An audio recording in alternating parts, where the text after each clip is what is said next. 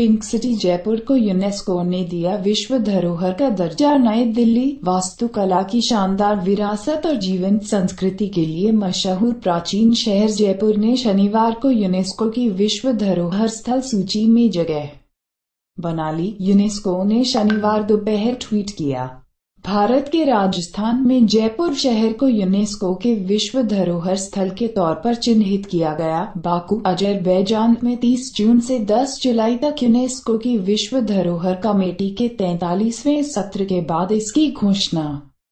की गई। इस बैठक में विश्व विरासत सूची में जयपुर शहर का नाम शामिल करने पर विमर्श हुआ। प्रधानमंत्री नरेंद्र मोदी ने जयपुर को यूनेस्को द्वारा विश्व धरोहर स्थल के तौर पर चिन्हित किए जाने पर खुशी जताए मोदी ने ट्वीट किया। जयपुर संस्कृति और शौर्य के साथ जुड़ा शहर है। मनोहर और ऊर्जावान जयपुर का आतिथ्य दुनिया भर के लोगों को आकर्षित करता है। खुशी है कि यूनेस्को ने इस शहर को विश्व धरोहर स्थल के तौर पर चिन्हित किया है।